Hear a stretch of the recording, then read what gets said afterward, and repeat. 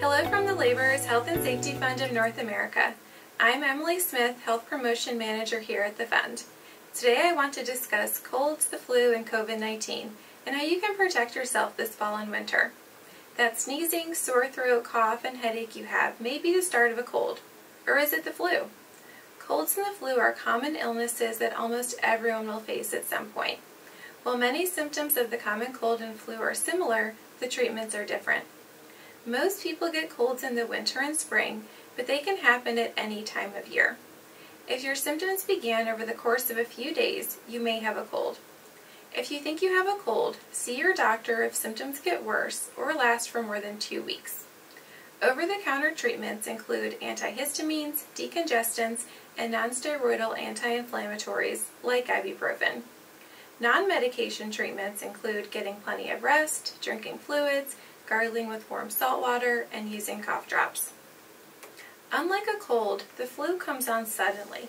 Symptoms are more severe and can last from a few days to two weeks. The flu season typically starts in October, peaks in the winter months, and can last as late as May.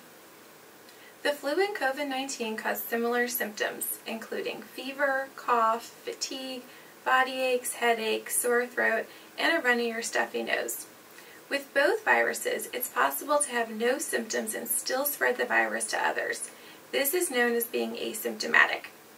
If you think you have the flu or COVID-19, see your doctor to confirm the diagnosis. If you do have the flu, your doctor will likely prescribe an antiviral medication. Most people recover from the flu without complications. However, it can lead to bronchitis, sinus infections, ear infections, and pneumonia. The flu can also make certain conditions like asthma, COPD, diabetes, and heart disease worse.